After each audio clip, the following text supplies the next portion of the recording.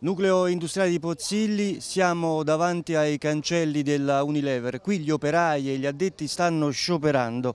La motivazione, il licenziamento nella serata di ieri di un operaio. Si tratta di una donna. La causa giustificato motivo oggettivo per soppressione di posto di lavoro. Insomma, non c'è più bisogno di quella mansione, di quel lavoro. I sindacati però eh, non ci stanno, ritengono questa misura intimidatoria più che rispondente ad una effettiva esigenza di contenimento dei costi e di efficienza aziendale. Di fronte a questa, mm, a questa scelta dell'azienda è stato naturale insomma, indire uno sciopero di otto ore da parte del sindacato. Questa è va registrata come la più grande adesione di sciopero che c'è stata in questi 30 anni di Unilever perché questo licenziamento è piovuto a ciel sereno anche se un'avvisaglia di ciò è successa già due anni fa, perché due anni fa questo stesso nostro collega di lavoro è stato demansionato e quindi l'azienda ha ricreato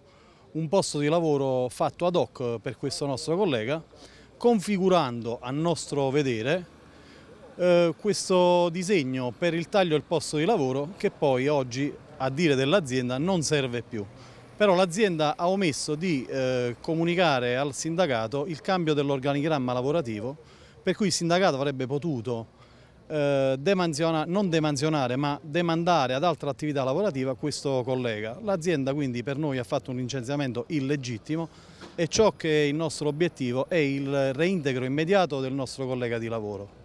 Al momento ci può dare qualche eh, riferimento ai numeri dell'adesione? Dell L'adesione è al 100%, tutti quanti hanno capito la gravità del gesto e tutti quanti sono preoccupati che questo gesto possa essere solamente intimidatorio per ulteriori tagli che l'azienda potrebbe o vorrebbe attuare nel futuro prossimo. Ma di fronte a una situazione di questo genere eh, il sindacato e i lavoratori fanno fronte comune. Infatti oggi in Unilever nello stabilimento di Pozzilli non entra nessuno eh, perché eh, riteniamo questo atto una violenza che va oltre le regole, va oltre la legge e va anche oltre il codice business Unilever. Dunque la mobilitazione che durerà per l'intera giornata e non è da escludersi che eh, questo sciopero possa andare avanti ad oltranza.